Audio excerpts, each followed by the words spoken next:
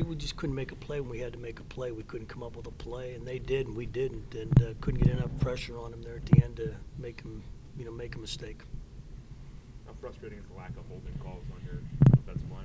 You know, I always say players play, coaches coach, officials officiate, so that's their job, not mine. You know, I can't, it's up to them. If they want to call it, if not, they don't.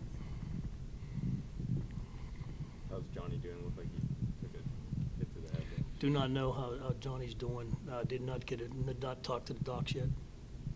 No, we usually don't. They, they'll evaluate him tomorrow and tell Jim something. Coach, was that quarterback everything you expected? Yeah, he was a heck of a uh, competitor. He played a, you know, really a fine game tonight. Wish we could have came up with some more plays, obviously. Uh, but our guys, you know, they hit him. They got to him, I think, six times. But uh, he's he hung in there tough and made the throws when he had to. Are you a little surprised he even came back in the game? No, not really. I mean, I didn't. I couldn't tell how you know that he was hurt, but uh, you know, I figured he'd make it back. You know, they they uh, had a halftime to figure out if there's anything wrong, and uh, and obviously he's healthy, so he did come back. Going, going into what do you guys have to do to kind of slow some of these offenses?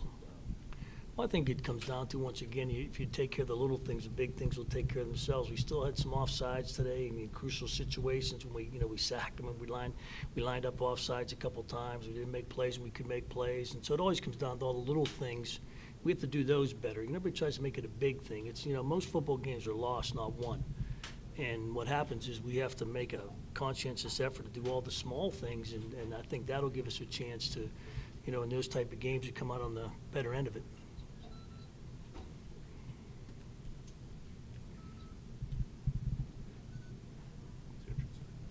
It's interesting.